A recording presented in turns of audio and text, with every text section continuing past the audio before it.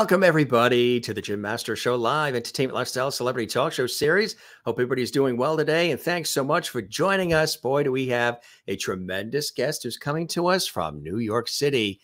Award winning author, writer, renowned theater critic extraordinaire, Christopher Byrne is joining us here on the show.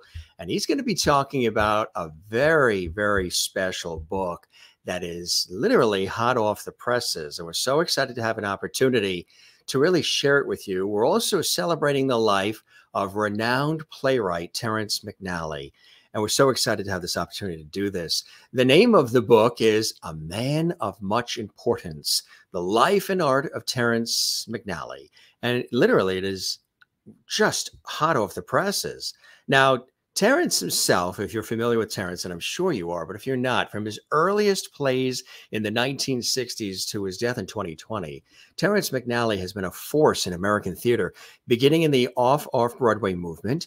Terrence's writing continually reflected a changing culture from opposition to the Vietnam War through the emergence of AIDS, gay rights, and more. His stage plays, musicals, and operas continue to be performed internationally, and they remain the work of a consummate artist, delving into the human soul and fearlessly examining both the lighter and darker aspects of existence in an uncertain and sometimes frightening world. This really is a very, very special celebration that we're going to be doing here on the show.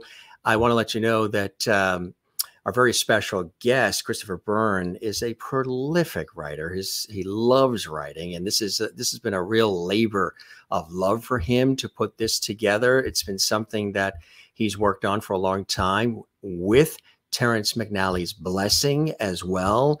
How beautiful is that? And filled with extraordinary interviews as this iconic figure in American theater and American entertainment is celebrated so lovingly and glowingly.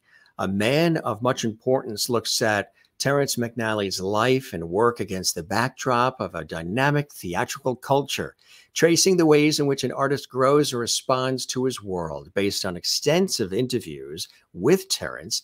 It also features interviews with many of the artists, actors, designers, and producers with whom he collaborated, including Nathan Lane, Chita Rivera, Audra McDonald, Christine Baranski, Kathy Bates, Swoosie Kurtz, John Glover, and so many others, Paul Libin, Lynn Meadow, and many, many, many others. You know what's great about this too?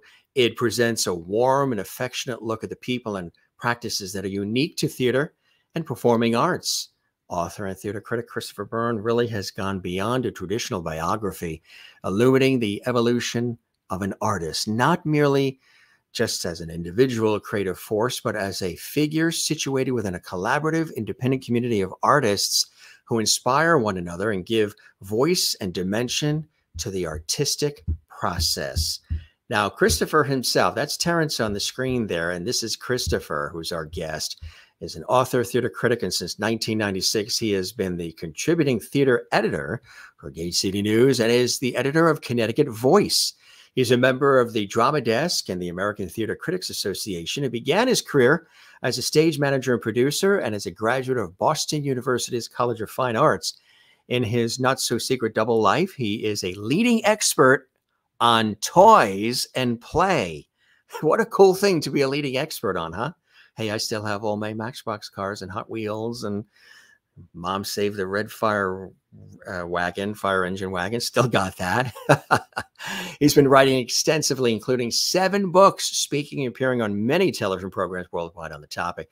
He's also a creator and host of the Playground podcast, a B2B podcast for the uh, international toy industry. That's business to business, of course, as well as Voice Out Loud, amplifying diverse voices in the LGBTQ plus community as well.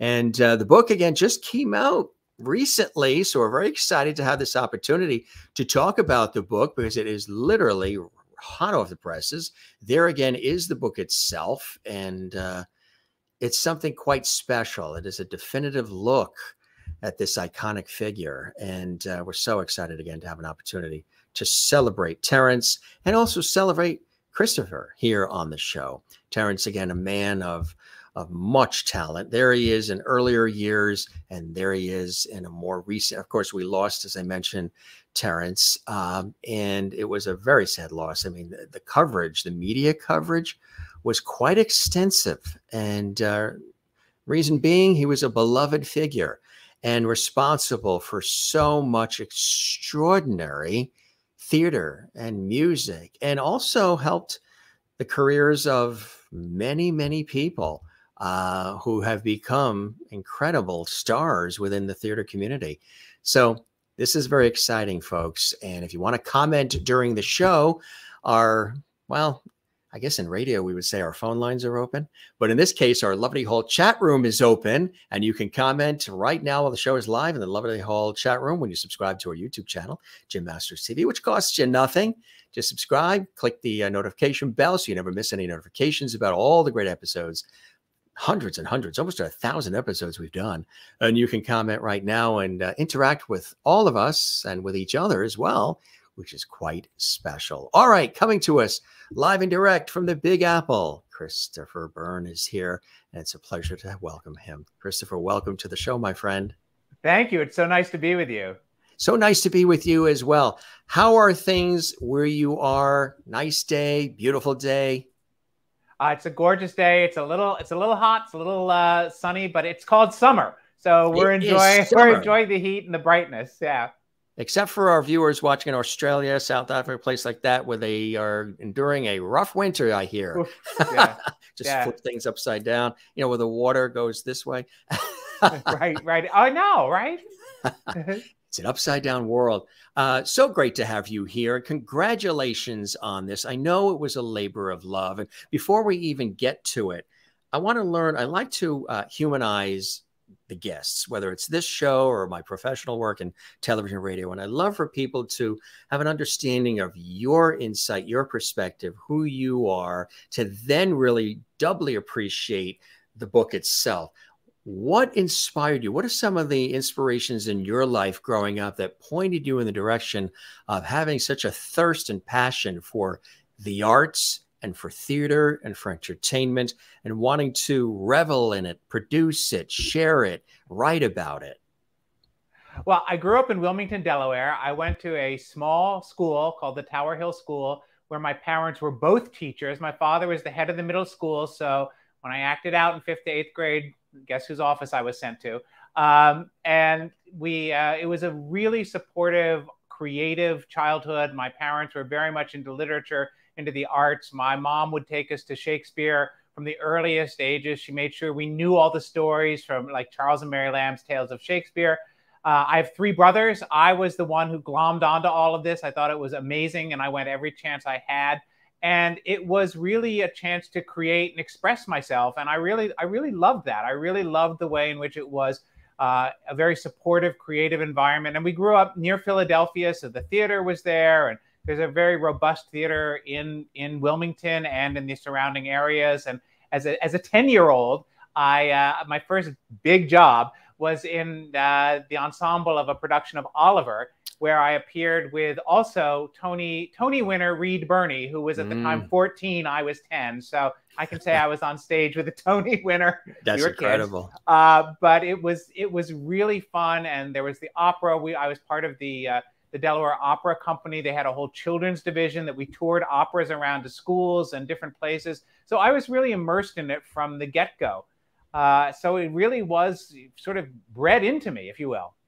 Absolutely right. And something that, again, you ran with and then you sort of, you know, perfected in your own way, added your own touch and taste to it. Uh, you became in 96 the contributing theater editor for Gay City News, and you're also the editor of Connecticut Voice. Tell us about that work as a writer. Well, it's been my background was in theater. And as you said, I went to BU for their theater school. I thought I was going to be an actor or a stage manager. I did not become that, and and I actually, in my double life in the toy industry, I was I was talking to, I, I was up for two jobs, one in the toy business, one in the theater. And one of my mentors had said, when you find the thing you love as much as you love this, do that. And I love working with kids, and I love toys, I love education, thanks to my upbringing. And so I chose the toys, but I stayed active, involved in writing about theater, and of course going And in '96, I was renting space to a the a magazine at the time called Lesbian and Gay New York, and I went into the editor and I said, "Your theater writer's not that good." And she said, Well, we can't find anyone to do it for free. And I said, Well, I'll do it for free. And she goes, Why would I hire you? You're all about toys. So I gave her my right. So I gave her my whole background. I'd been at Arena Stage, I'd been a dramaturg, I'd done some translation from German of Brecht. Um, and she said, Okay, we'll try you out. And here we are, what, 20, 20, uh, however many years later, and I'm still being tried out. But but it's gotten me into the theater. I've written about it. It's just been it's been a thrill because I am probably the most enthusiastic audience member you'll ever find. mm, you're on your feet, ovation, and you, ovation, and yeah, huh? That's and you fantastic. need the audience. you need the audience, absolutely. I mentioned, yeah, the the love of toys and having an opportunity to surround yourself. Here's just one of your pieces of work here. I love this. Tell us about this. Uh, that was a book that we did, I think, back in 2015. And what we what I did was I crowdsourced at the time. Crowdsourcing was relatively new. We went out to hundreds and hundreds of people to say, what are the toys you remember from your childhood? Because remembering those toys, these are elemental parts of our identity. We become yes. who we play, I believe. So these are this is a collection of the toys that a lot of people remembered, including their uh, their memories. And and we got Mr. Machine behind me over here uh, from the 19 from 1960, and it's just uh, it's such an important part of people's lives what they played with, and so it was to celebrate that as well. So, what spurred that interest in toys for you to the part to the point of wanting to really revel in it and write about it and and learn all you could about the world of toys? well, even when I came back here, uh, back when I even when I when I was came back to New York uh, as you know as a professional out of college, I was not able to make money being an off off Broadway stage manager. I mm-hmm. know that sounds unbelievable, but I wasn't really able to support myself on nothing. And I my only skill was typing, and I typed for a publishing company. It was owned by CBS. I got promoted into their toys division at the time and suddenly I was enmeshed in education and educational theory and toys and play, and it was just something that was uh, was incredible. I still have my Matchbox cars from uh, from when I was growing up as well. I heard you mention that before, so it's. Uh, you know, these things are sort of, I wanted kids to have as creative a childhood as I did, really, is what drove me. That is so fantastic. Do you ever play with those Matchbox cars? Do you ever take them out and I do, and you know they're they're old, and some of the tires have decomposed a little bit, but they're but they're still uh, they're still great. Like I say, we are all just big kids in adult clothing. That's really what it is, right? Never lose that sense of wonderment. Right, right, and and play is really that that question of what if, what if I do this, what if what happens, and really following that through. And it's so healthy play is so important for development because it fosters the imagination, which fosters critical thinking, which fosters identity, and it's all rolled into one. And it's such an important part of our uh, uh, humanity, really. Do you have an ultimate favorite toy from childhood? Well, I was going to say my Matchbox cars because they could be almost anything I wanted. I could compete with them, I could bash them together, I could collect them. They really are sort of a wonderful, wonderful toy. And I started traveling with them because my brothers would play with them when I wasn't home and I had to protect them. So they're they're still in the closet in the other room. Did you uh, step up to Hot Wheels too? I did do some Hot Wheels. Hot Wheels were all about speed, and what made Hot Wheels different was that they had that metal axle that made them go so fast, and that's what Elliott Handler wanted when he introduced them in '67.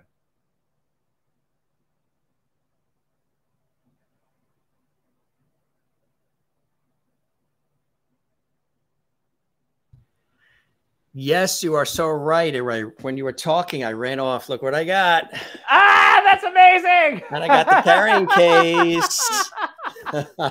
wow, yours is in better condition than mine is. Mine, mine's, uh, mine's much, uh, much loved. there's ah! two. There's two. I know he wants to reach in and grab them. There's two, and there's two layers. You lift up, and there's another layer of all these different. I mean, and they're still magical for you. That's the thing. That's the thing. Yes. They still make you smile and still make they're you think cool, right? That. Yeah. You know yeah, what it is? Exactly. I always had a thing And it's probably why I always loved the. I really enjoyed when we got the station wagon that sort of was the same design as the uh, Brady Bunch station wagon. Right, right, right. the uh, I always loved the open to Mr. you know, my affiliation with public television all these years. I always loved the magical open to Mr. Rogers' neighborhood because it was a little mini version of sort of real life with the little houses and the right. trolley and oh, yeah. and all of that. And I always enjoyed childlike miniature versions of adult things.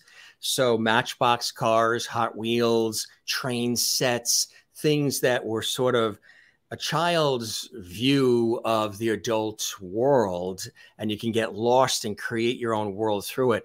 So uh, i actually created in the basement when i was a kid. We were able to get a huge piece of plywood. This was out east on long island in new york and create as close as we could a replica of the mr rogers oh, neighborhood oh, opening sequence and closing sequence uh, and I already had the Matchbox cars to put right. it there, so it was just really cool, you know. it's great, and and that's what kids do is they interpret the world in the in the context of their understanding, and yes. it's so expressive for you. And I, I just love I love that story. Is it it? Kathleen in New York in Queens says Matchbox cars are cool. yes, they are. Kathleen, did you have some too? so toys and being so immersed in this wonderful world of toys and theater how do the two do the two worlds ever meld or are they totally separate for you? Well every once in a while they meld. I mean there's every once in a while you have a public relations person who works on a toy account and a theater account and then they get sort of like whip whiplash as they try wait i'm dealing with you on this and now i'm dealing with you on this. But they really are all about uh, places of imagination, places of suspending your disbelief, places of going into a larger experience outside of just you and becoming part of a, a different world. And I, and I think just as theater and as we em- learn to empathize and understand stories with theater, just as we begin to express ourselves through play, this is kind of the training ground for being a human being. Yes, it is. Exactly right. You know, you mentioned Oliver. Do you remember the very first play that you went to in your life? The very first play I went to in my life was a production of, I think, Hansel and Gretel. I was probably three, and I do remember having to be taken out because I was terrified. And ah. I remember there was a, a round window in the door, and my dad lifted me up so I could look through the the window at what was going on on stage, but still be safe. I like that. the love of a dad. That is so cool. So, you know, we're talking about Terrence McNally, of course, one of the most renowned playwrights and, and folks in theater of all time, and still greatly missed and, you know, beloved. And what do you think it is? I mean, I mentioned earlier when I was opening the show that the outpouring of sadness for the loss of this iconic person in the theater world and, and just in you know in general in life he touched so many lives and made a difference in so many lives and still does even though he's not with us through his art through his work. What do you think it is about terrence mcnally that still resonates with everybody and, and why people have this profound connection to him? I think it was all about, he was always about telling the truth. Yeah. And, but he was always about telling the truth in a loving way. And he really loved actors and he loved performance and he loved language. And he was just very generous, even though he was a cranky but always generous collaborator. He was always trying to make things better, always working further to make it to make each piece better. And in fact, if you read the published versions of some of his plays, they're not the same as they were on stage because he kept working on them. He was always trying to make things better. And, and I think he always wanted the people he worked with to be their best. And in fact, when he told, when I started writing this book, he said, it's your book. You write it the way you want. And, and that was, that's the kind of gift he gave to people. And yet he was always there to be supportive. You know, that's the. Would you say he was like a curmudgeon in a way? I don't think he was a curmudgeon. Or a I mensch? think he could. I, he was definitely a mensch, but he could Yeah. he could certainly he was very passionate about the art. And I tell the story of Darko Tresnjak, who who directed Anastasia, uh, who worked with him and Lynn Ahrens and Stephen Flaherty and Terrence on on Anastasia. And he he said he was shocked at how the three of them fought at tooth and nail. And then they'd go out to dinner and it'd be, oh, what's going on in your life? What's going on in your life? It was always about the work, and it was the personal side. People could always count on him to show up and to be loving, but the work, he would fight for his work. You know, what you just said is, I hope everybody heard that because if we could only take that way of being, you may have a disagreement, you may have a different outlook, you may have a different upbringing, whatever, but you could still agree to disagree and go out to dinner, still have fun, still appreciate the other person, who they are, their respect for the other person, where they're coming from, listen to what they have to say, because maybe there's some nuggets in there that you can apply to your own life and enrich your own life if you're just doing something a certain way. And to be that kind of person, as you're describing, Terrence, it, it's a beautiful thing. And it's a great lesson that I think we all need to hear, especially now in our very divided world. I I agree. And it, for Terrence, it was always about making the show the best it could be. And he would, uh, Lynn Ahrens talks about uh, in Ragtime how he wrote a scene and put it in an envelope and told her, don't look at this until you go home. And she said, I opened the, I opened the envelope in the cab and I started to cry. And it's the song that became in Ragtime Back to Before, which is a real turning point in the, in the drama. And it's, it's just amazing because he was he would just he just gave that and she said well i'm stealing this he said please take it uh, it was always about the collaboration especially in the musicals about making it better and helping everyone to succeed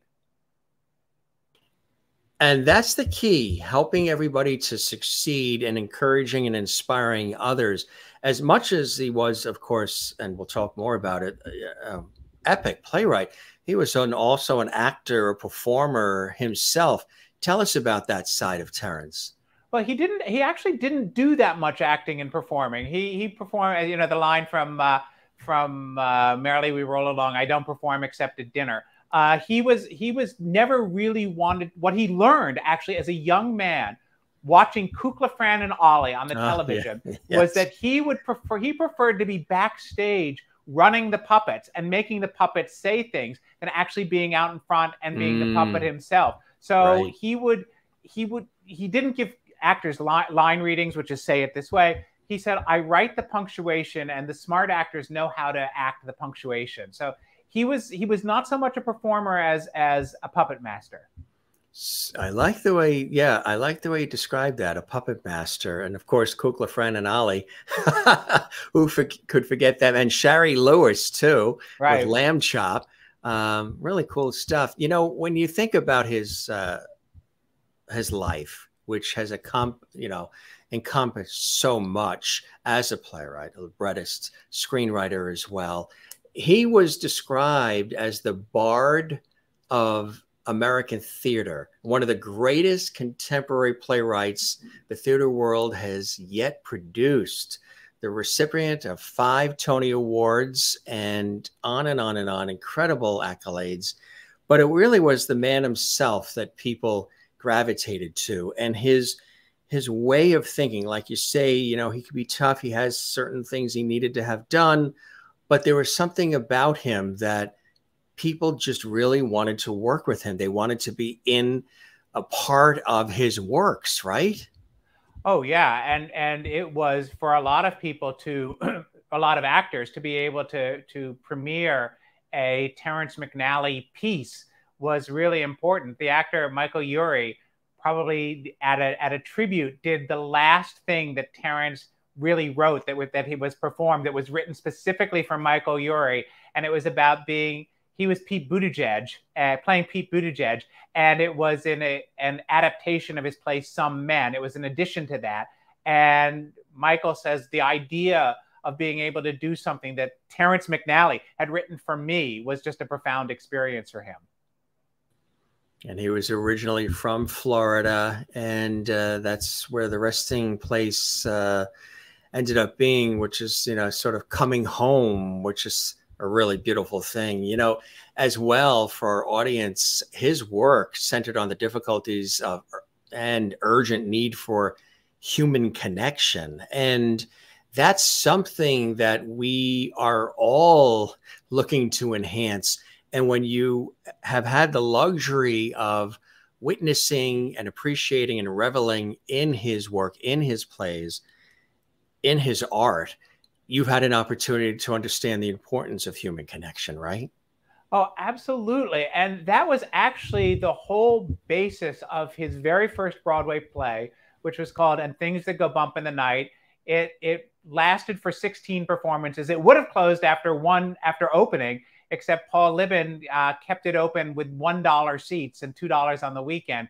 And that was all about connecting the character Clarence, who was the first openly gay character ever to be on the Broadway stage, uh, in a positive way, not seen as a as a cartoon or a stereotype he really believed in love and connection. Of course, he's destroyed, but everybody's destroyed uh, for that. But it was really he has some very moving speeches about the need for connection, and I still believe in love. And that was something that's echoed throughout of all of Terrence's work, whether it's it's that play or fast forward to Dead Man Walking, where Sister Helen Prejean has to connect with the with the uh, protagonist who is in jail for for murder.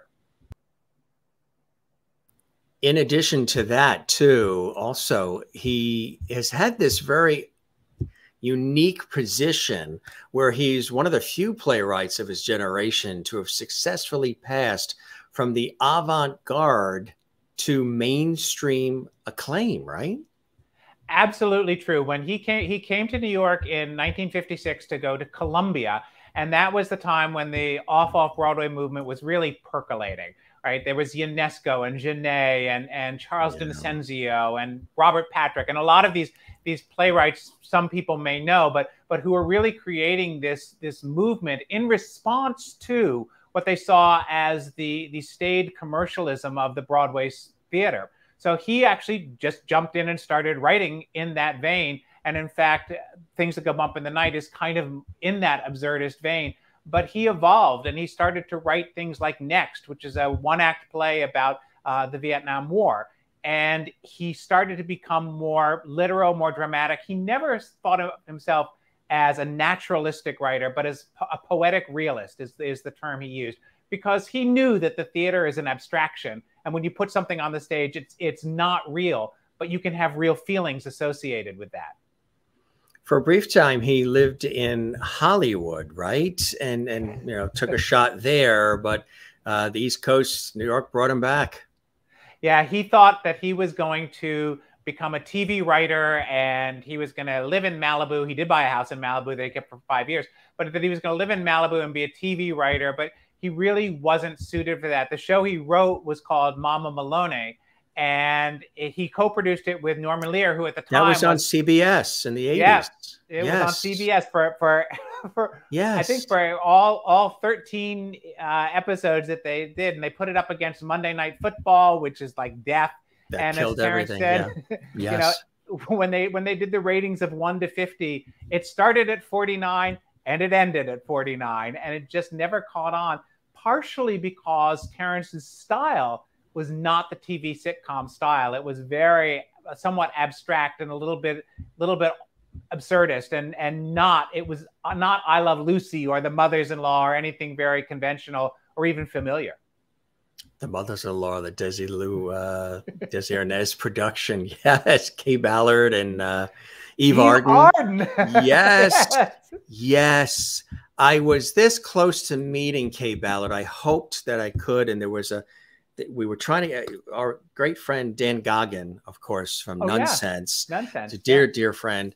And uh, he was trying to get us together, and but she had passed. It was she had already oh. just passed. But what a hoot! And her and Eve together and Mothers-in-Law. you don't hear as much about that series um, because I don't think it ran as long. So maybe right. as far as the syndication, uh, but yeah, that that was a good one. You know, one that I always talk about too is Family. Do you remember Family with um, oh, Sada yeah. Thompson and James yeah. Broderick uh, on ABC? Uh, that was an Aaron Spelling production, I believe. Right. One of his right. favorites. Uh, that was a really, really good, you know, television writing. Then it was exceptional in a series like that, you know? Right. Right. So, how many Terrence McNally productions have you seen? Oh my gosh! You know what? I, I've not been asked that question before. A, lot. Uh, you know, I, I've I've been over the over the years. I, I did not. I'm slightly too young to have seen uh, uh, things that go bump in the night. But but a lot of the stuff I remember when I first came to New York. There were Next was still playing in different places, and then of course I was here and Lips Together, Teeth Apart, Lisbon Traviata. All of some of the early ones came along uh, that that people got to see, and a lot of the stuff at Manhattan Theater Club, which was really uh, his home for so many years. They premiered 14 plays of his over 15 years. So so it was always, as Lynne Meadow said, I always just said the next Terrence McNally play, whatever it is, she wrote on her yellow pad as she was planning the season. So I've seen I've seen a lot of them, and I and I've actually seen a lot of the revivals. I saw the original Frankie and Johnny with oh, yeah. um, with uh, oh my god, I'm losing my mind. Kathy Bates with oh, Kathy yes. Bates, yes, uh, who is the funniest interview on the planet. But yeah. but Kathy Bates in was in that and saw all of those revivals: Stanley Tucci, Edie Falco, and then most recently with Audra McDonald. That's incredible. What is it you think about um, Terrence that drew you to want to sort of document his life, celebrate his life. And as I mentioned in the beginning of this episode of our show, you worked with Terrence on this, or he gave you the blessing to create this masterpiece, this book about his life. Um, what was that process like? Well, it was it was actually pretty funny. Uh, I was inter interviewing him in, in 2014 because he had a play in preparation that became Mothers and Sons with Tyne Daly and and uh, Bobby Steggert and Fred Weller, and it was it was the continuation of Andre's Mother, which he had written for uh, Manhattan Theater Club years and years ago.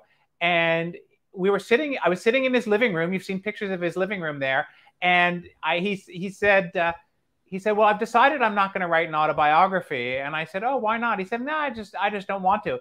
And impulsively, I said, Well, can I write the book? And he said, Sure. And that was that. And I was kind of off to the races with that. Um, took a while to find a publisher. He was he was really eager, and and one of the things that that I think he was a, he liked was I I said to him, well, I'm not Kitty Kelley. I wasn't wow. really interested in any gotcha. of the, the darker gossipy stuff. Uh, I was really interested in how this man who created plays that had such a personal resonance to so many people on stage and off. How, how did he get there? I was really fascinated by that. What are some of the things you, we don't want to give the whole book away because we want people to get the book? But what are a few of those nuggets about how he got there that you learned that might have even surprised you? Well, uh, there's a couple of them. When he was later on, as he looked back at and things that go bump in the night, he said, "I was really trying to imitate Edward Albee, who he'd been in a relationship with for, for a long time. And it was while he was finding his, his own way. I think when it came to things like writing about, about the Vietnam War, it was how can you not write about it? And that's uh, next and Cuba Si and bringing it all back home, a lot of his short plays. And then when the AIDS crisis came, he was really, he said, how can I not write about this? How can I not write about my community?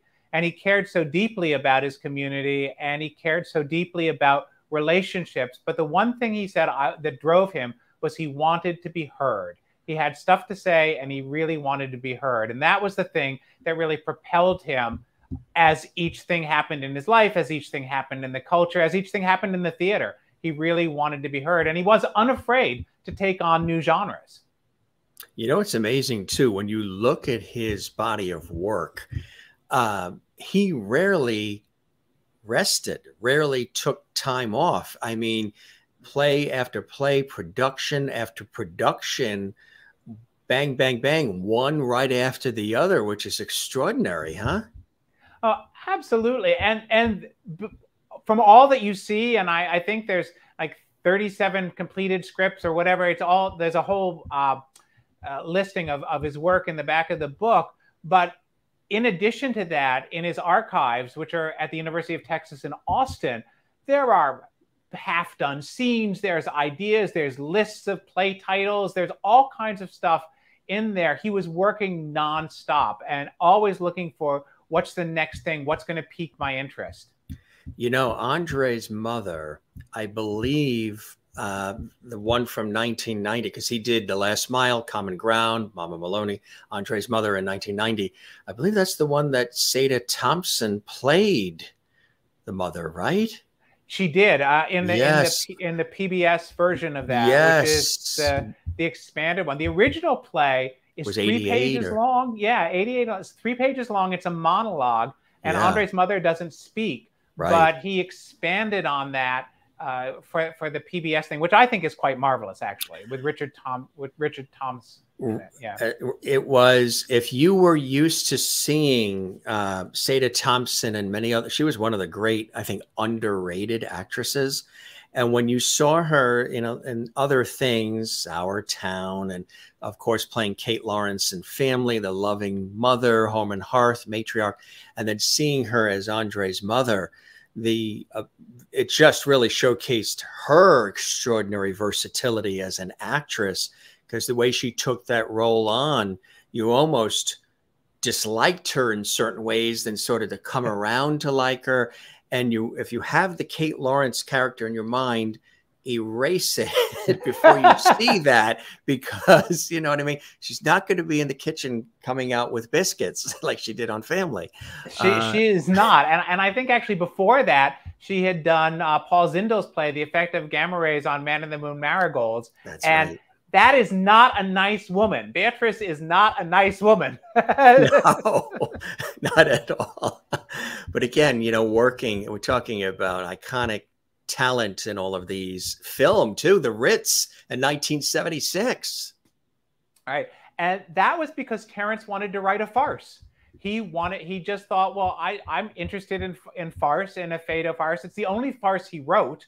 And it's set in a gay bathhouse. And it's supposed to be the continental baths or the metropolitan baths. I, I, I sorted it all out because there were a lot of baths in, in New York at the time, and so it's it's it's the one where the entertainment was. Where of course Bette Midler got her start with Barry Manilow, and yes. it really is just this door slamming farce set on three levels of a gay bathhouse.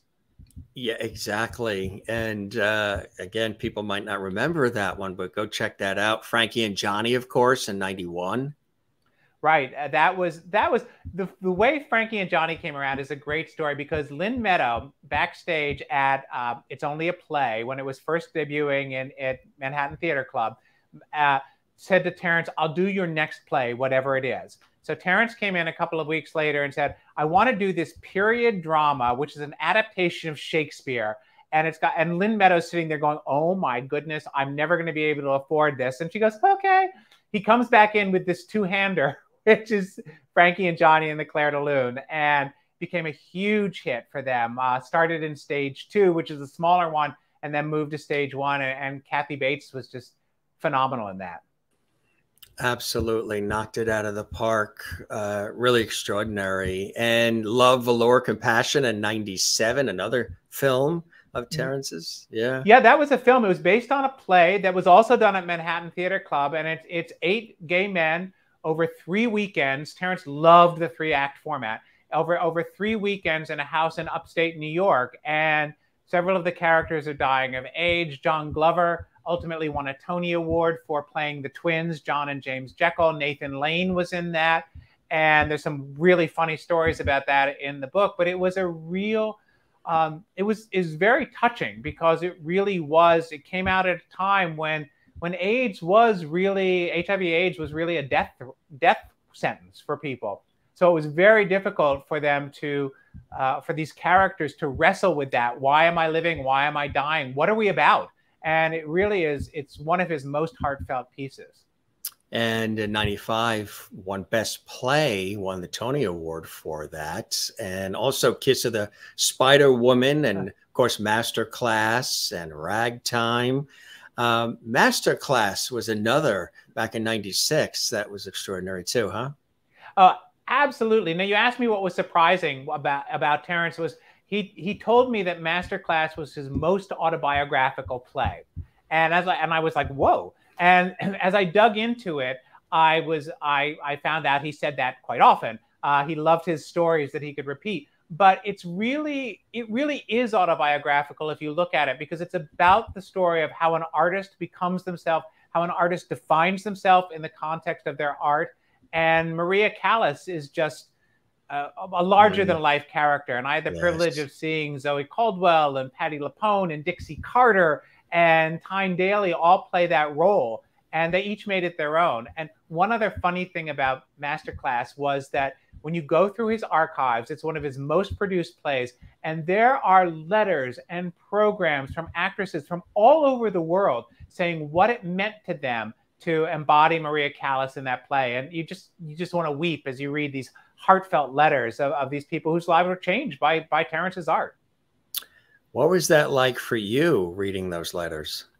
It was it was incredible. I was I was in this wonderful room at the UT in their in their Harry Ransom Center, and they're bringing me boxes down, and you have to be very careful with the paper and all that stuff. But I would read that, and the the love of these people would just pour off these handwritten notes, and Terrence kept them all, and that's why they were in the archives. That's incredible, huh? Yeah. So I mentioned in the introduction too that you had this wonderful opportunity to interview so many fabulous people. Uh, when this was now, how did that happen? Was it where you just approached the people? Did he give you a list of people that he would like to see in the book? Uh, did he sort of maybe make the intros for you, set the stage? Uh, he, God bless him, because he said, Oh, I want you to talk to so and so, and I want you to talk to so and so. He gave me their contacts. He gave me, in some cases, their personal emails uh, to to reach out to them. And then he called a lot of these people, so they were wow. waiting for me to call. And I found out I found out later that they would do the interview and then call Terrence and say, "Did I do okay? Did I do okay?" Uh, and it was it was just. I mean, for me to talk to people who I've idolized for years, like Christine Baranski and Nathan oh, Lane yeah. and John Glover, uh, was was amazing. I have a good friend, and I would call her up and go, "Oh my God, I'm going to talk to Christine Baranski." so then I could get on and say, "Well, good afternoon, Miss Baranski." Where it was really completely. Uh, I tried not to go totally fanboy on these people, but they were amazingly generous and and told a lot of great stories. I met Christine at a uh, PBS gala event, and she couldn't be nothing more than warm and engaging and quick witted, funny, and very affable. She's fantastic, isn't she? She is fantastic. And incredibly, with, with Lips Together, Teeth Apart, when Terrence wrote it, he originally wrote the, the role that Christine ultimately played for Stockard Channing. Stockard Channing couldn't do it. And Lynne Meadows said to Terrence, Well, I have this actress I want you to meet who had done stuff with MTC. And apparently, well, both Terrence and Christine said they clicked immediately and they just got each other right from the get go. Which is fantastic when that happens. Tell yeah. us about some of the other folks that you had the real pleasure. I mean, it probably talk about being a kid in a toy store writing about toys. Right? This was probably like being a kid in a candy store with all of this great talent that you had an opportunity to just sit down and chat with uh, for the book my one of my favorites was Kathy Bates, and she was one of the only people who said, "Do not record this call." So I was typing furiously as as she as she talked to me. I hope and, you didn't interview her at a motel. No, no, I didn't. I didn't. Um, and she she was a riot because she told me about Frankie and Johnny, and that, and it it's a great story because she said I, you know, Terrence acknowledged her as a woman, as a sexual woman and that changed her whole perception of herself. But then she talked about being backstage and standing stark naked because the play begins with Frankie and Johnny in bed having sex, start standing across the stage, looking across the stage at an understudy she'd never met, and that they were going to just sort of jump in bed and pretend to have sex. uh, and she just she just went for it. And Pam Singer, who was the uh, who was the stage manager on that, told me Kathy Bates is the most fearless actress she's ever worked with. When she's told dive right in, she dives right. Literally. Uh, that's so cool. Who else? Tell us about some of the other incredible folks that people will be able to hear from in the book. Well, Christine Baranski, of course, was was yeah. lovely, and and she tells the story about about Lips Together, Teeth Apart, and it was written. And Terrence, you have to know, overwrote. So the the first draft of of uh, Lips Together, Teeth Apart would have been about three and a half hours long. It had all of this horrible language in it, which I which I won't repeat on a in a family TV show. Uh, but but Christine said, I read the script and I thought, I'm just a girl from Buffalo. I can't have my mother hear me say these things. Uh, but but you know, ultimately, ultimately, Terrence and the and the company really worked it together. And there's not a lot of vulgarity in that in that play, and yet the the the passion and the emotion underneath it you don't need the vulgarity because it's so present and so real. And and what Christine made that the the vulnerability of that character so so moving. Nobody's been able to match her in that. No, that's so incredible. We're showing people here how they can get the book. It is on Amazon, folks. Is there also, I believe, a Kindle as well? I think there's a Kindle. Kindle yeah. and yeah. how about audio uh, book? Uh, oh no, there's not. But my editor said if you want to record it, go ahead. So I, am I'm, I'm probably going to set aside some time and do it, read it. A lot everybody. of people, yeah. I, I it's amazing when I talk to so many different people. Other people that want to get the material, they always ask about the audiobooks. I guess they just, you know, in their car while they're driving or when they're on a train or whatever, just listen to it and sort right. of get lost in it. It's a, it's a newer thing that people seem to have a real craving for, huh? It, it is. I, I, had never done uh, an audiobook before, but I, I listened to Kelly Ripa's book on on audio, and it was an incredible experience. And, and I've been on this show for many years doing toys with them, but uh, she, she we shared the the uh, uh, vicissitudes of coming up with a book. But listening to her do it was like, oh, that was inspiring. No, we can't let you get away with just that.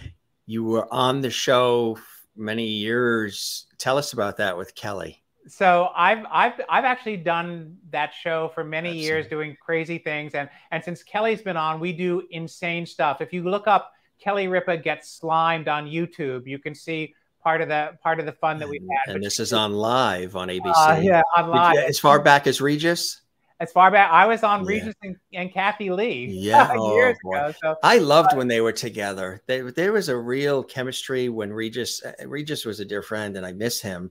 And he was a fantastic person, and just you know, I saved the network. and I'm an only one man, and everything. and uh, he he opened up the door for a lot of people. Of course, starting on he, the Joey Bishop show and oh, all. He did. But you remember the very first incarnation of you might you might have been in Delaware, unless you were in the New York area. It was the morning show, and it was Regis Philbin and Kathy Garver. No, not Kathy Garver. It was Cindy Garver. It was the oh, right. ball player, Kenny, uh, Kathy Garver. She was a guest on our show. She was Sissy on Family Affair. Right. But Cindy Garver, Garvey, Garvey, Garvey. Cindy Garvey, Steve Garvey, the ball player's wife they were the original hosts of that show on WABC Channel 7. Right. It was and, local. And then yeah. when she moved on, Ann Abernathy came in for a short while. And then they saw uh, Kathie Lee Johnson, who used to do Name That Tune, remember? Oh, yeah. Uh, I think Tom Kennedy, one of them, hosted that. And then she was on Good Morning America, and they brought her in, and the two of them. I just love the ribbing. And then when she was off, and Joy, his wife, came in, it was fantastic the way yeah. she would keep him in line. Oh, oh Regis.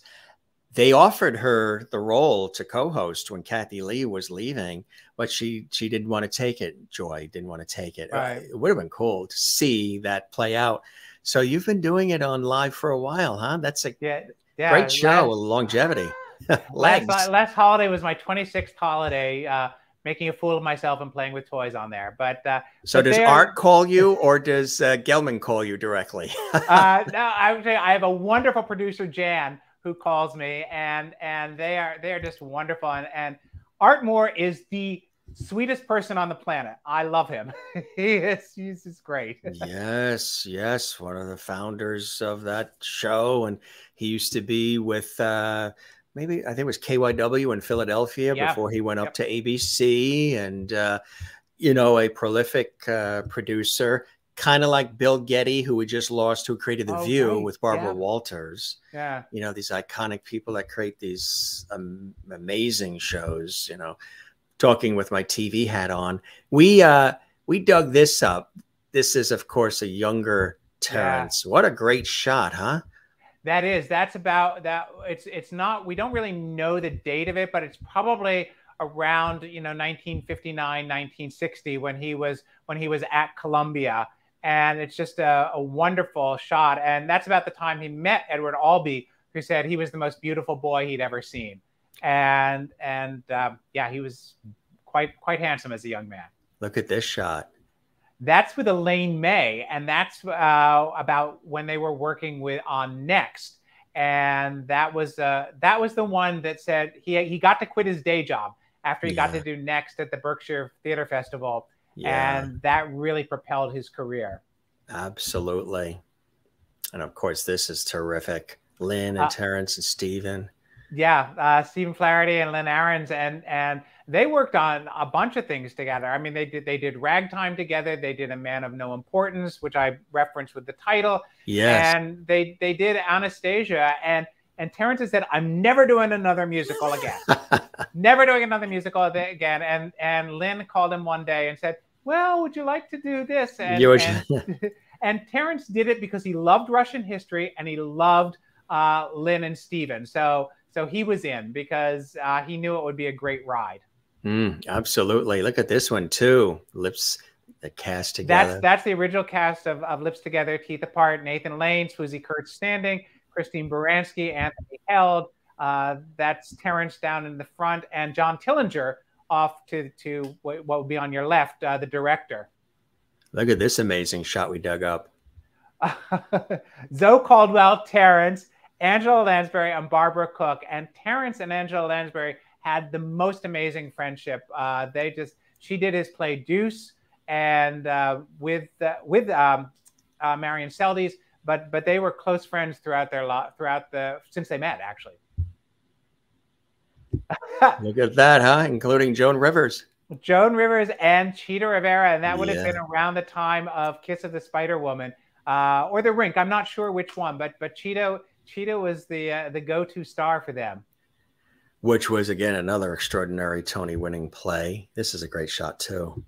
Uh, that's uh, Chita with John Kander and Fred Ebb and Terrence and that would have been either either at the rink or or Kiss of the um, not would not have been Kiss of the Spider. Um, it would have probably been around the time of the rink. You know, this is something very special with Terrence. This shot.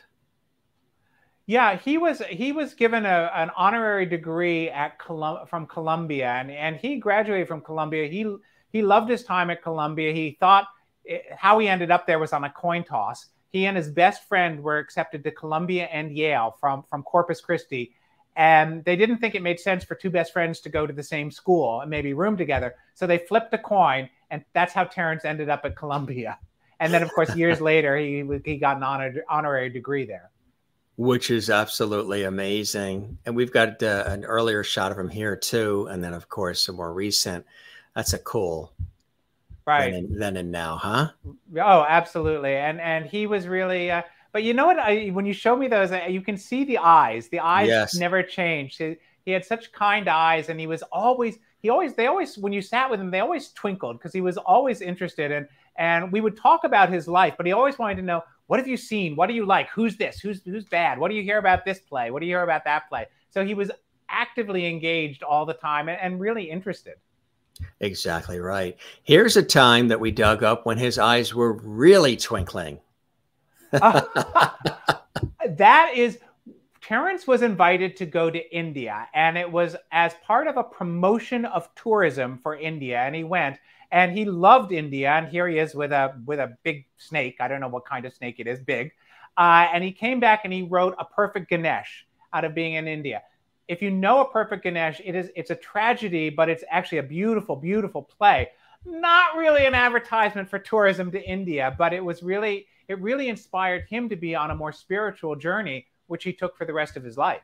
Which is really incredible, and you can see the pure joy yeah. you know, that he has uh, as he entrusts them with with the snake, uh, which is uh, which is really incredible. And then, of course, the wonderful oh. duo here with Tom. Yeah. Yeah, that that's his husband Tom and and Terrence had a lot of a lot of relationships in the in over the course of his life starting with Edward Albee and we we talk a little bit about them in the book, but it was really Tom and he said I never believed in love at first sight until I met Tom, but really they're being able to travel the road through marriage equality and getting married and really, really sharing a life and, and really living openly as a married couple. That was something that Terrence in 1960 never would have believed was possible. And he said to me often, he said, My favorite sentence is, The reservations are in my husband's name. And he just loved that. He loved being married to Tom. And Tom, who hails from Hauppauge, Long Island, New York, is also, for those watching who aren't sure, very prolific uh, and very deeply involved in in the arts and theater world as well and entertainment. Yeah, he had started his career as an AIDS lawyer, uh, fighting to get coverage for people who didn't have insurance and being able to help get medical care. He met Terrence. He was still doing that, and he basically became an intern for some of the producers. And he loved he loved found he loved producing. He'd always loved theater, but then he kept producing, and now Tom Kirdahy Productions. It's a big deal. They just had uh, uh, Hadestown and New York, New York, and Grey House, and the revival of Little Shop of Horrors, and the revival. He participated in the revival of A Man of No Importance at CSC. So he's really a very creative and beloved producer, which isn't an easy thing to always say. and to have those combined in the same sentence. yeah, right. That's what I mean, right? Yeah. Producer isn't always a, it doesn't always go together. Love the name of the book, and again, congratulations on it, Christopher. Um, how did you come up with the name? I think I know, but for our well, audience, well, his, yeah. his, his musical "A Man of No Importance" is one of my very favorite works of his because it's so creative and how he interpreted that movie into a musical uh, with with Ahrens and Flaherty. But it really is it's kind of like Terrence, for all his being out there, was was personally very modest. So it sounded modest. It was a reference to the to the musical, which is a reference to Oscar Wilde, uh, and it was also just I don't know. It just seemed appropriate. It's terrific. It really is, and congratulations on it. When did you actually start writing it, and what was the hardest part? Is it was it getting the first few words on paper? Was it knowing when to finish it and to cap it off and be comfortable enough to say, okay, that's it. That's the last word. That's the period on that sentence. We're good. I'm done with it. Or, which is, you'll probably appreciate this as a, as a writer and an author. One time I had, or a couple of times now, I've had a guest that has said, actually, the beginning wasn't hard for me. Knowing when to end wasn't hard. It was bridging the beginning with the ending and having the middle uh, and sort of bridging those two worlds together. How about for you? That's exactly my process. I, I I knew I wanted to start talking about how I had first encountered a play of his, uh, Things That Go Bump in the Night, when I was 14 years old, and what that meant to me. And I knew I wanted to end it talking about the legacy that he left with the with all the playwrights and the actors and all of the people who who feel so profoundly influenced by his work. It was trying to figure out how to talk about what he had done during his life. And I ultimately decided uh, there's so many interconnected timelines that I really needed to talk about it in terms of the plays, the musicals, the opera, and then the operas, and then how he managed personally. And, and that sort of gave me an organization. So it's not really a and then I, and then I, and then I kind of linear biography. It's more about how did my theater develop? How did my musicals develop? Uh, and incidentally, there wasn't a musical that he didn't threaten to quit, except for Anastasia, and uh, yeah. uh, and and the opera, which is which is you know was a passion of his. So I would imagine Tom loves it, right? And others that are in Terrence's family and life and friends and peers love this loving tribute to this iconic figure, huh? The feedback. I hope so. I, I haven't heard from it yet. I know that I know that Tom's other passion is tennis, so he's been over at Wimbledon. So I don't oh, know if oh, he's yes. had a chance to read it. And Newport, Rhode Island, where we right? were just yeah. last week, they have their big, you know, championship there. So right, because this just came out days ago. Yeah, this it was. It, yeah, it did. this is like. So, how does it feel for you? You know, taking the time to do all the research and celebrate this fabulous figure, but at the same time, now here's the physical book. It's out there. It's available.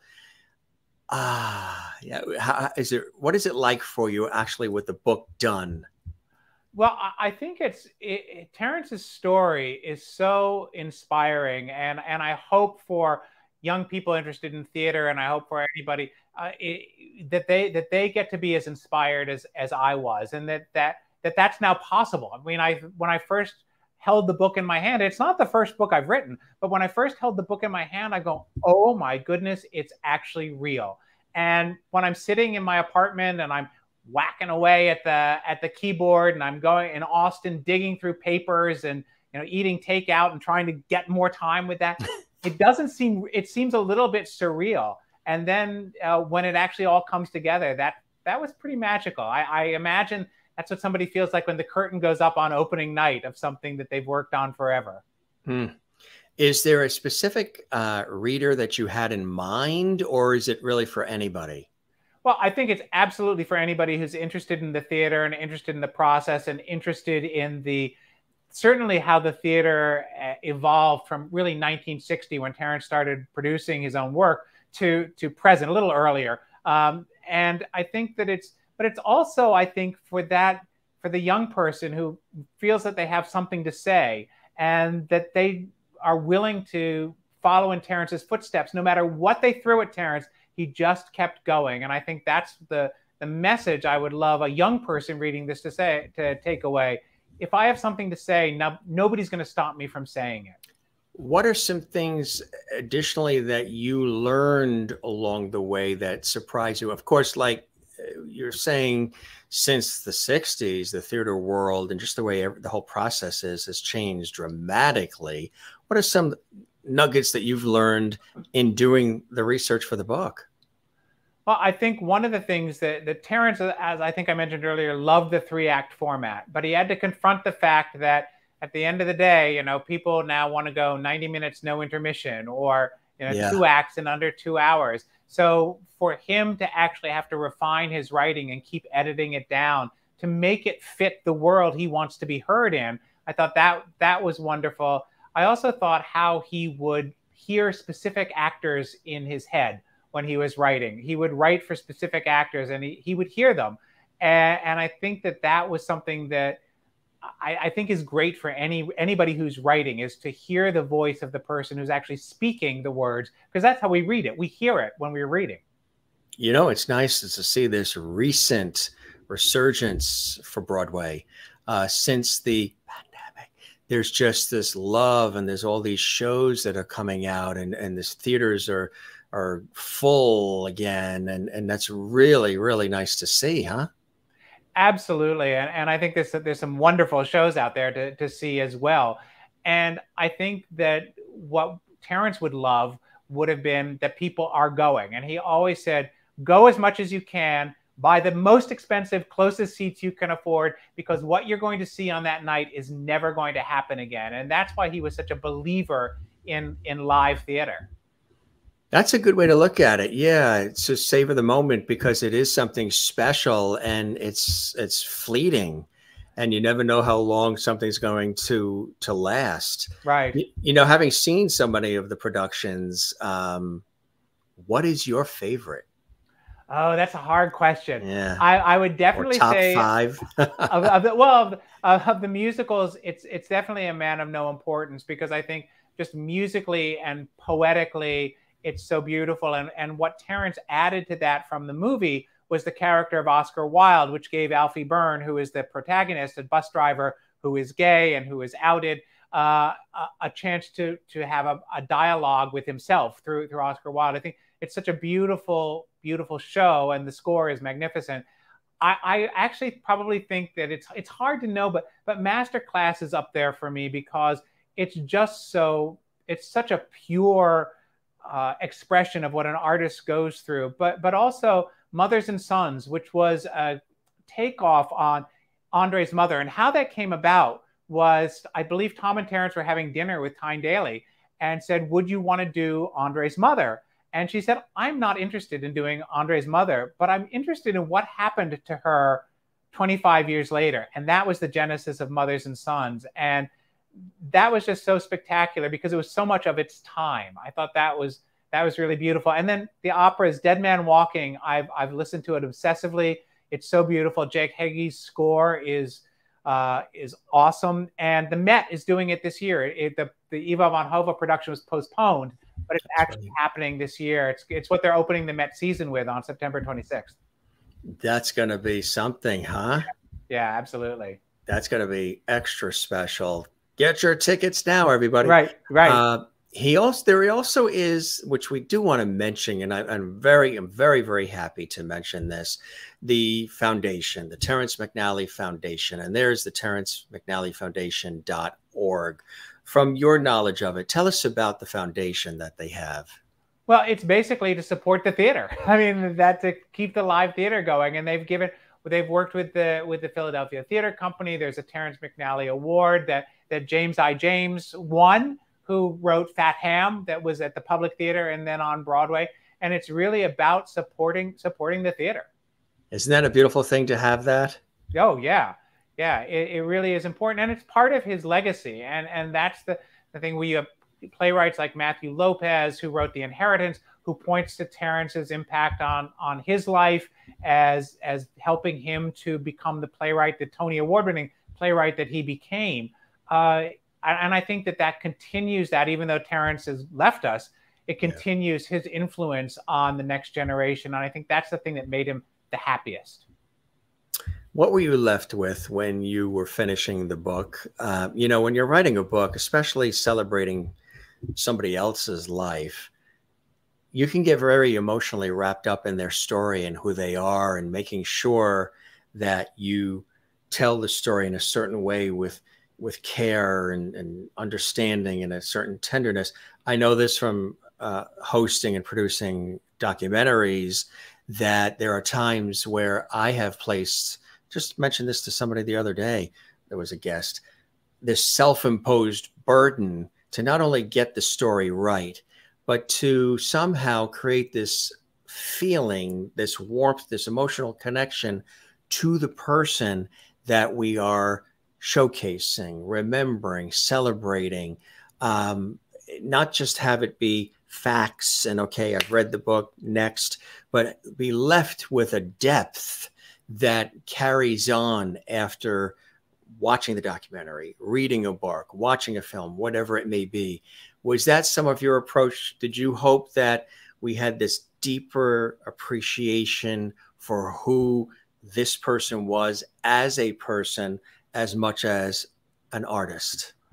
Uh, completely. That was that, and it, it's funny that you say about the emotional stuff because I one of the things that took me most by surprise is when I finally wrote the part about about his passing, I started crying.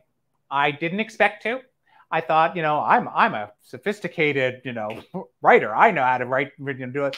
I was I was so I was very emotional uh, at that at that point because it really was. You, I felt the loss all over again, and that was that was really uh, a surprising and actually kind of wonderful moment that because there is this level of grief that this voice is silenced even though his work lives on. So definitely i wanted to convey that and i wanted to convey how emotional so much of it was because it really did start from emotion. He was not he was not like tom stoppard or uh, or, or bernard shaw or people who were really intellectual uh, playwrights. He was a visceral human playwright who wrote about things that were critically important to people, even when they were abstracted or expanded and, and kind of unreal. He really went for that heart. And I, I think that that's the thing that most people related to.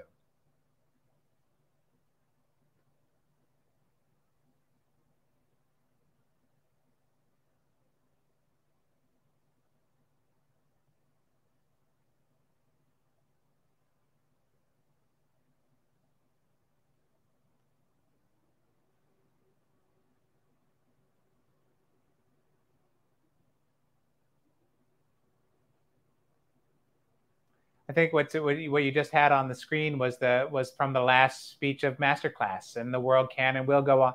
Yeah, can and will go on without us. But I have to think that we have made this world a better place, that we have left it richer, wiser than had we not done it. I mean, it's just it's just beautiful. So absolutely, yeah, we're letting people read that, and it it's that is beautiful, and we wanted to to show that because it just really sort of sums some of it up. But you know, in celebrating somebody who's left us not only with this body of incredible work, but also with an understanding of the human condition and appreciation for the human condition and how we treat each other and how we think about life and how we conduct you know ourselves and uh, love and respect and and all of these things that are so interwoven in his work it's pretty extraordinary stuff, isn't it? Absolutely, absolutely. And we've been we're so lucky that we get to that it lives on for us. Absolutely, yeah. Are you uh, working on other material? I don't doubt, uh, Mr. Byrne. always, always. We're getting ready. For, we're getting ready for the toy season, but also looking at you know everybody. Right. Everybody I interviewed deserves a book of their own. I'm not sure I'll get to all of them, but but but it yeah. was it was what a privilege to do you know the toy season you're right it's about six months ahead right yeah, you got to right. get everything yeah. going and then well congratulations on like i said this this masterpiece i know it was absolutely a labor of love for you terrence i'm sure would be very very proud and i'm sure when tom reads it i'm sure he'll be contacting you saying i absolutely love it you've captured him and uh, and everybody else. And it is available at Amazon, folks. And there is a Kindle as well. And look for a possible audiobook. And uh, coming to us from the heart and soul of our very special guest, uh, renowned writer and author and theater critic, Christopher Byrne. Christopher, this was really uh, terrific. Your first time on the Jim Masters Show live series, but hopefully not the last. We're going to keep the porch light on for you, and you oh, thank you. Welcome back anytime. Spread the word about our show. As we mentioned, it's warm and conversational, engaging. We've had a lot of folks that have been commenting throughout the show as well. Kathleen here says, Thank you for being here, Christopher. Great conversation and good luck with everything. And that's kind of you to say that, and everybody else that's been commenting and who will also watch this later in the archives because we're going to archive it on our YouTube channel, Jim Masters TV. Merlin's watching in Ontario, Canada. Thank Christopher for being here with us. You're in Lovity now. Hey, you're a Jim Master Show awesome. Lovity, huh? Isn't that great? High five. Do I, do I, get a pin or something? Well, high five on it. There we go. Do the high five. Boom. well, I say Marvelous. there's I, I, say to the guests, I say there's Grammys, Academy Awards, uh, there's Tonys, there's Tellys, there's Peabodys, there's Emmys, there's all these great awards. But when you're told you're a Lovity on the Jim Masters show live, I mean, how does that make you feel, Christopher? Uh, I'm thrilled. I, I feel like I've found a family. That's wonderful. You have found a family. Some of the guests say that their feet start tingling. And then some of the guests, one of the guests said he started levitating as a result. well, I, I, think my feet are neuropathy, but but just kidding, just kidding. Any carpal tunnel syndrome from right? Doing no, all the, not uh, quite. Not yet. There's the link again to get the extraordinary book, folks, at Amazon. That's, I mean, the exact link. But if you go to Amazon.com and you type in the title or just type in Christopher Byrne, B Y R N E, of course, you will, uh, you'll get right to it and, and other material of his as well. So this is cool. I'm coming over with my Matchbox cars and we're going to have some. Yes. awesome. I look forward to it. Chris, I, I, really appreciate this and hope you enjoyed the time with me as much as I absolutely have with you. What a pleasure. What a, what a pleasure. It, it, you know, there's been so much warmth around this book. I just feel like embraced by all of it. And, and this show especially. Thank you so much. The pleasure is all mine. As my father has always said and told us since we were seven years old, Jim, whenever anybody says something kind or nice to you, ask them too. Please put it in writing and address it management. Awesome. You be well, my friend. Again, congratulations on the book. We'll let the viewers know again how they can get a copy. And uh, don't be a stranger. Spread the word about our show to other folks you think would like to pop on. And you're welcome back anytime. Thank you so much. All right. You take care. Congratulations on Thank all. Thank you. Bye bye now. Bye. Christopher Byrne joining us live from New York City, burning the midnight oil and those candles, writing all this great material for all of us to enjoy. Let's show you the book again. If you joined us late, don't fret, because you know how it works here at JMS at the Jim Masters Show Live series. This is archived. You can see the entire episode in full on our YouTube channel, Jim Masters TV. We appreciate Christopher. It's a very busy time for him because the book just came out. So we appreciate him taking time to stop by the Jim Masters Show Live, entertainment lifestyle celebrity talk show series to not only talk about the book and remember this iconic figure, extraordinary songwriter, librettist, actor here and there, and prolific uh, producer and playwright, the incomparable Terrence McNally celebrated here. We lost him uh, not that long ago, just a couple years ago during the uh, pandemic. And uh, it was a uh, shocking loss to many. And uh, we had an opportunity to to revel in his memory and also introduce you to Christopher and his incredible work. Really terrific having him on and chatting about uh, also his love of toys. A kid at heart. Yes, he's all excited because the toy season is upon us. You got a chance to not only learn more about Terrence, but also about our very special guest, Christopher Byrne, coming to us again live and direct from New York City. Now, if you want to get a copy of this book before they sell out, go to Amazon, and there is the exact way to do it. You can just go to Amazon.com, type in his name, type in the title of the book, and it'll come right up for you. The Kindle version is available too. And there's the Terrence McNally Foundation.org, which helps support theater, which I think is a beautiful thing. We wanted to make mention of that and hopefully help the foundation as well, which I think is a terrific, terrific thing. Now, gang, if you enjoyed this episode, there is something special we would love for you to do. What is that? Well, that is, give this episode a thumbs up like on our YouTube channel where we house almost a thousand episodes of our series.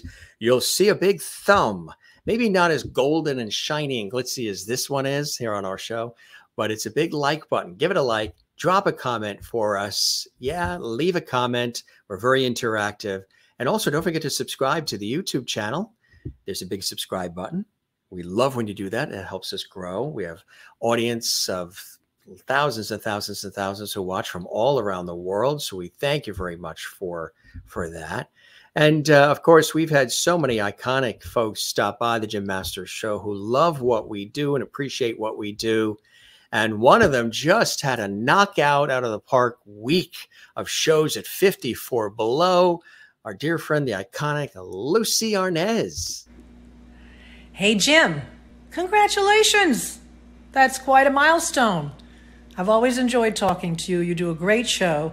Positive, optimistic, interested. You do your homework. We love being with you, and I hope we get a chance to do it again sometime. With love from Lucie Arnaz and Larry Luckinbill. Right back at you, Lucy. She had some iconic shows this week at uh, 54 Below. And she really is a uh, master. We love Lucy. We love Melissa Manchester too. Hi, this is Melissa Manchester. Happy third anniversary, Jim Masters. I'm so happy for your achievements thus far with no end in sight. I was delighted to be invited uh, to be on your show twice, and we had um, a lovely time discussing my career and achievements and and what struck me was how how delightful the tone was. It was not, um, you were not looking for any gotcha moments. You know, you were, you, Jim, are interested apparently in restoring the art of conversation. And with that, the concept of levity, which I just find charming and encouraging and delightful. So I look forward to chatting with you again, dear Jim. And congratulations again for, for making a space where people can share their ideas, where you can ask thoughtful, probing questions to see how we're all doing uh, on our paths, our parallel paths. So wishing you uh, many, many more happy anniversaries. Long may levity wave. And you too. Be well. Thank you, Melissa Manchester. You know, somebody else who's well known in the theater world and cabaret world and on stage, the incomparable performer, Jeff Harner. He was a guest on our show too, loved it, and wanted to send these thoughts. Hi, Jim. It's Jeff Harner here, wishing you a happy, happy anniversary. Congratulations on your three year milestone.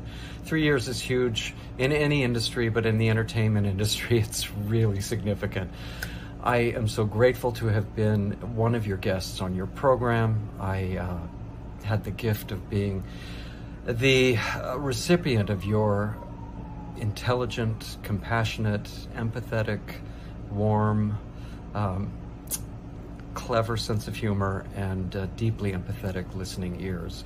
I um, I think our interview was supposed to be 45 minutes and it stretched to be 90 minutes. And it's not because you were talking, it's because you were listening to me. And I am so grateful. So long may you wave. Uh, you give such a gift of service to your audiences and to the entertainers. You shine such an attractive spotlight on all of us. Onwards and upwards, lots of love. We thank Jeff for that as well. Thanks, Jeff Harner. We appreciate those kind words and everybody else who has sent these fabulous words as well. Hope you're doing well, gang. Thanks for being with us. I'm your host, Jim Masters. If you enjoyed this episode, let us know. Like, comment, subscribe. We'll see you on the next episode. Hope you enjoyed this episode. And we thank once again our very special guest. Thanks for all these comments coming in here, too. We really appreciate them all. Uh, that means the world to us. We thank our very special guest, Christopher Byrne, for joining us live and direct from New York City, author, theater critic, a man of much importance. Make sure you pick that up at Amazon. Really a terrific, terrific book. The Art and Life of Terrence McNally. Maybe this is the first time you've heard of Terrence McNally, possibly. Now you knew about somebody who contributed to the theater world, music, entertainment, the arts in not only you know the theater world opera film television many different genres and platforms and avenues as well. So we thank uh, our very special guest joining us here on the show christopher byrne. And we thank all of you. Uh, let's see kathleen says we're checking with a couple of our lovely viewers and see what everybody's saying. If you want to support our show uh, super stickers super chat super emoji that's all available. Super thanks in the Love at Each Hall chat room when the shows are live, or you can also uh, check it out later at Super Thanks, which is a heart icon that they have on the YouTube channel, and it's available 24 7. So I appreciate that. Thank you, Jim. Great show. Enjoy the rest of your evening. And uh, Jane says, Thank you, Christopher, being here tonight. Thanks, Jim you now want to start collecting Matchbox cars. They're expensive now. Glad we saved ours from childhood. Thanks to everybody. Thumbs up from Merlin as well, and everybody watching from around the world. We appreciate it. You have a great day wherever you're watching, and thanks for stopping by this episode of the Jim Masters Show Live. Don't keep it a secret. Tell everybody you know about our entertainment lifestyle celebrity talk show series. And we're working hard to continue to entertain, inform, educate, and just have a good time with all of you right here at JMS. Be well, gang. Cheers. I'll see you on the next episode of the Jim Master Show. Take care.